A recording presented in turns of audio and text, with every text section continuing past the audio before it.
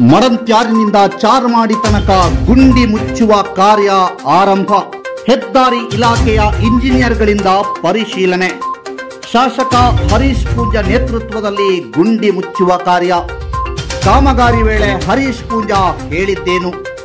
ಇದು ಸುದ್ದಿ ಎಕ್ಸ್ಕ್ಲೂಸಿವ್ ವರದಿ.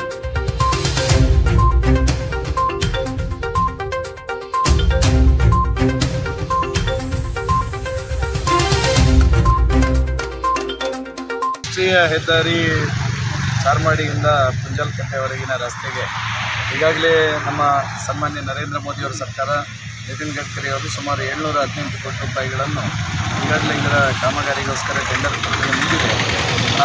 ಅದರ ನಡುವಿನಲ್ಲಿ ಈಗಾಗಲೇ ಹಿರೋಯಿನ್ ಕೆರೆ ಬೆಳ್ತಂಗಡಿ ಉಜಿರೆ ರಸ್ತೆ ಸಂಪೂರ್ಣವಾಗಿರ್ತಕ್ಕಂಥ ರಸ್ತೆ ಹಾಳಾಗಿದ್ದಂಥ ಸಂದರ್ಭದಲ್ಲಿ ಕಳೆದ ಅನೇಕ ತಿಂಗಳುಗಳಿಂದ ಮಳೆ ಮಳೆ ಬರ್ತಾ ಇದ್ದಂತಹ ಸಂದರ್ಭದಲ್ಲಿ ಅದರ ದುರಸ್ತಿ ಕಾರ್ಯಗಳು ಮಾಡಲಿಕ್ಕೆ ಸಾಧ್ಯ ಆಗತ್ತೆ ಆಗಿರಲಿಲ್ಲ ಈಗ ಒಂದು ಒಂದು ವಾರದಿಂದ ಮಳೆ ಬಿಟ್ಟಿರುವ ಕಾರಣಕ್ಕೋಸ್ಕರ ರಾಷ್ಟ್ರೀಯ ಹೆದ್ದಾರಿ ಪ್ರಾಧಿಕಾರದಿಂದ ಅದರ ದುರಸ್ತಿ ಕಾಮ್ ಕಾಮಗಾರಿಯನ್ನು ಈಗಾಗಲೇ ಕೈಗೊತ್, ಕೈಗೆತ್ತಿಕೊಂಡಿದ್ದೇವೆ.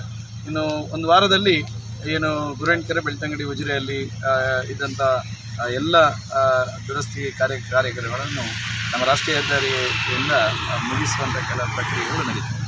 ಎಲ್ಲಿಂದ ಎಲ್ಲಿವರೆಗೆ ಇದೆ? ಚ ಪುಂಜಲ್ಕಟ್ಟೆಯಿಂದ ಚಾರ್ಮಾಡಿವರೆಗೆ ಇದ್ದಂಥ ಚಿಕ್ಕ ಚಿಕ್ಕ ಹೊಂಡಗಳನ್ನು ಸಹ ಎಲ್ಲ ಮತ್ತು ಗುರಾಣಿ ಮೇಜರ್ ಆಗಿ ಗುರಾಣಿಕೆರೆ ಬೆಳ್ತಂಗಡಿ ಉಜಿರೆಯಲ್ಲಿ ಉಜಿರೆ ಈ ಮಧ್ಯದಲ್ಲಿ ಸುಮಾರು ಆರು ಕಿಲೋಮೀಟ್ರ್ನ ಮಧ್ಯದಲ್ಲಿ ಹೋಗಿದ್ದಂಥ ರಸ್ತೆಗಳನ್ನು ಮತ್ತೆ ಮರು ನಿರ್ಮಾಣ ಮಾಡತಕ್ಕಂಥ ಮತ್ತು ಅದಕ್ಕೆ ದುರಸ್ತಿ ಮಾಡತಕ್ಕಂಥ ಕೆಲಸವನ್ನು ಈಗಾಗಲೇ ಅದಕ್ಕೆ ಸುಮಾರು ಏಳ್ನೂರ ಹದಿನೆಂಟು ಕೋಟಿಗಳ ಅನುದಾನ ಬಿಡುಗಡೆ ಆಗಿದೆ. ಅಂದರೆ ಟೆಂಡರ್ ಪ್ರಕ್ರಿಯೆ ಮುಗಿದಿದೆ. ಅವರ ಏನು ಟೆಂಡರ್ ಗುತ್ತಿಗೆಯನ್ನು ಕೊಟ್ಟಿದ್ದಾರೆ ಅವರು ಮತ್ತು ಅದಕ್ಕೆ ಸಂಬಂಧಪಟ್ಟಂಥ ಇಲಾಖೆಯಿಂದ ಈಗ ಅಡ್ಜಸ್ಟ್ಮೆಂಟ್ ಆಗಿ ಆ ಕಾಮ ಕಾಮಗಾರಿಗಳು ಪ್ರಾರಂಭ ಅವರ ಮುಖಾಂತರ